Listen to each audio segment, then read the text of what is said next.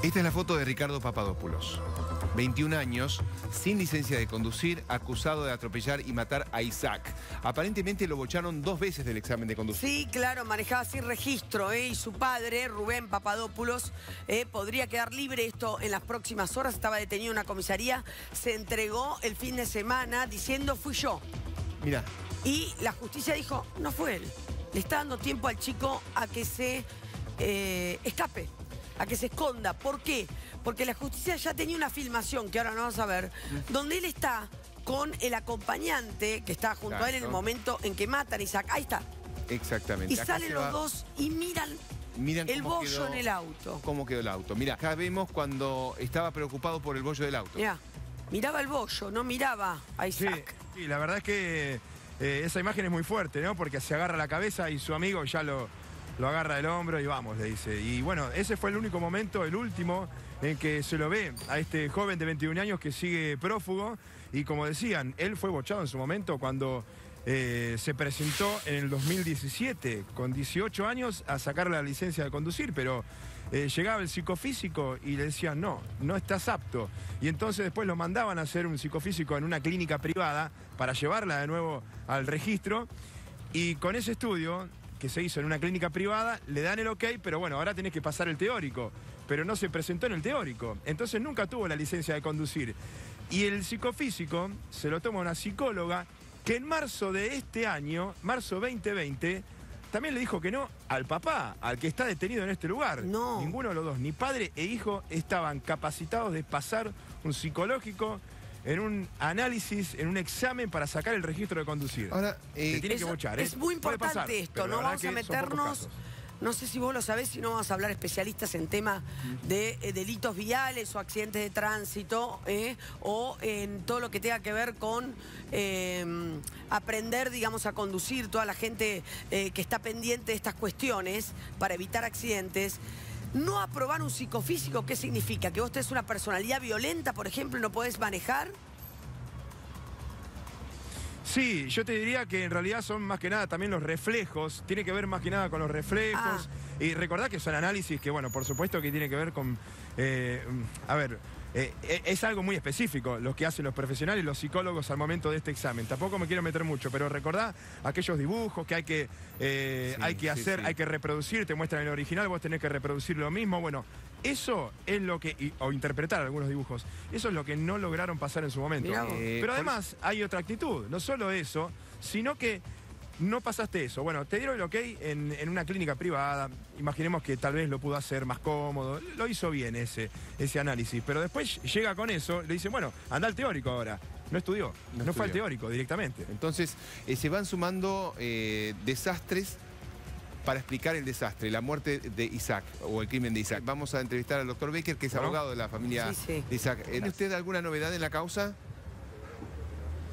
Bueno, en principio, eh, en el día, el día domingo a la noche, a última hora, presentamos el pedido de parte querellante, por el cual el papá, digamos, eh, José, el papá de la víctima, José Carlos Sus, eh, con el patrocinio letrado mío, el doctor David Bernstein, se presentó como parte querellante y en tiempo récord, en, horas de la tarde, recibimos notificación electrónica por medio del cual la jueza Guillandut, titular del Juego Criminal 62, eh, hizo lugar al pedido, efectivamente, y nos tuvo, lo tuvo como parte querellante con, nuestros patrones, eh, con el patrocinio letrado de, mi colega y el mío. Esto permitirá que en el día de hoy hagamos presentaciones, al menos desde el punto de vista de solicitar copias digitalizadas de toda la causa, eh, para poder estudiarlo, eso en forma urgente, obviamente, porque necesitamos saber bien cómo se está trabajando, por más que tenemos conocimiento que tanto desde la Fiscalía como desde el Juzgado Criminal 62 se está trabajando arduamente, al igual que la policía, en la búsqueda de, este verdadero delincuente que se encuentra prófugo, Ricardo Manuel este, Papadopoulos. Bueno, básicamente eh, la idea nuestra es solicitar algunas medidas probatorias, profundizar en la, pericia accidentológica, que no sabemos si se ha realizado y de qué manera. O sea, de alguna forma esto nos va a posibilitar colaborar activamente con la Fiscalía como acusadora privada, a la par de la Fiscalía, a los fines de que este hecho pueda ser esclarecido debidamente y se pueda hacer justicia, para lo cual previamente deben encontrar a este verdadero asesino al volante que, al que me he referido anteriormente, digamos, ¿no? Preguntar por Rubén Papadopoulos, ¿no? Porque ahora, a ver, ¿cómo queda la calificación legal? El padre, como parte de una estrategia elaborada, urdida, por obviamente por él, por su familia y desde la parte legal, eh, armaron toda estrategia, toda esta estrategia legal, básicamente de presentarse 40, prácticamente 48 horas después de, acaecido el hecho. Nosotros sabemos que esto ocurrió el día jueves a las 23.05, se presenta a las 19 horas del día sábado, o sea, prácticamente 48 horas después de donde ya tuvo todo el tiempo del mundo con su abogado, su equipo legal, para pergeniar esta verdadera maniobra de encubrimiento, entre comillas. Ahora me, voy a referir al, respecto y te voy a decir por qué.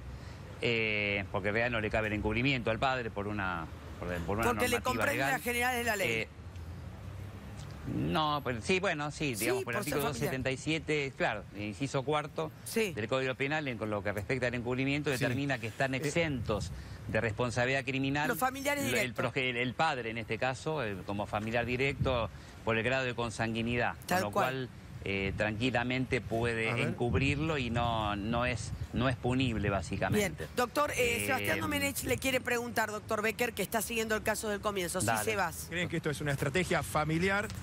Este, del padre, ¿no? Entregarse acá, le queda poco, no entendemos, privado de su libertad, seguramente va a ir, saldrá en libertad. Ahora, ¿usted cree lo que él dijo ayer en la declaración indagatoria vía Zoom eh, al decir, por ejemplo, bueno, no solo que llamó llorando su hijo, que él mismo estaba nervioso, eh, sino que no tuvo más contacto después de ese llamado con el papá, más allá de que la opinión suya es que lo está encubriendo, ¿no? En este caso.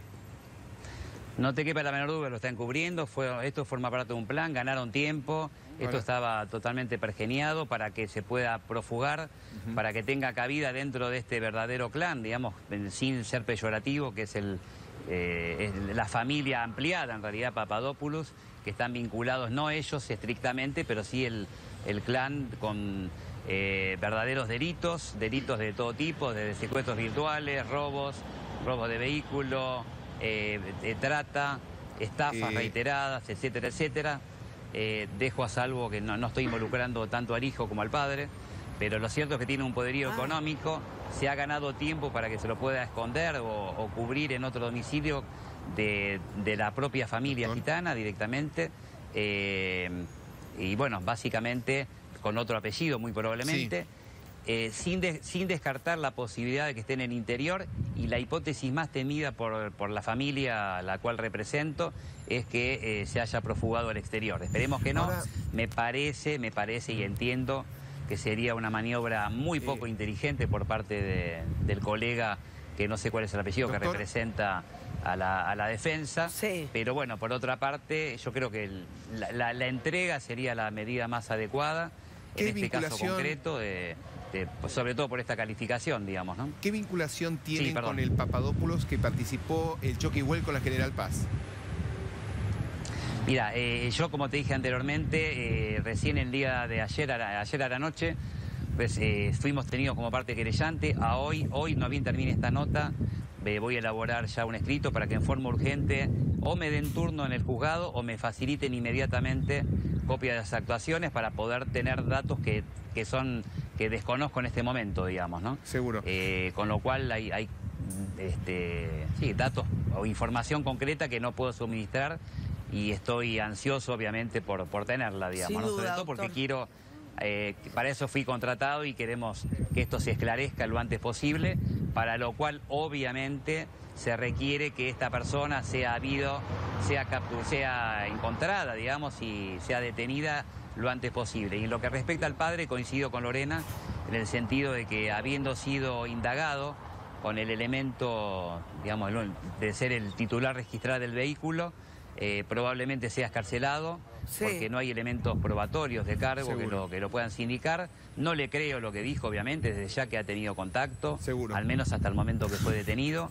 Eh, esto fue algo, un plan perfectamente pergeniado, eh, que requiere que sea esta persona detenida de inmediato, al igual, al igual que el testigo, que el amigo que lo acompañaba, que como decías vos, eh, Lorena al comienzo de la nota, lo consolaba, lo consolaba porque se le había dañado el vehículo, no porque había, no porque había causado la muerte, mató digamos, y donde él se agarraba la cabeza, este pibe Ricardo Papadopoulos, eh, pero no generó la más mínima empatía, no, no era un consuelo o agarrarse la cabeza por haber causado la muerte del nene de Isaac, ni de haberle ocasionado lesiones gravísimas, gravísimas a la, este, a la mamá Débora y haber destruido una familia entera en realidad, ¿no?